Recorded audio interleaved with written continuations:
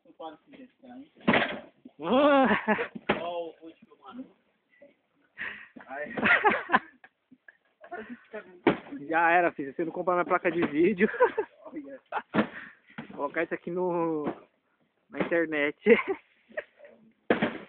Caçar e batendo caixa lá no alto, olha. Olha. E o cara é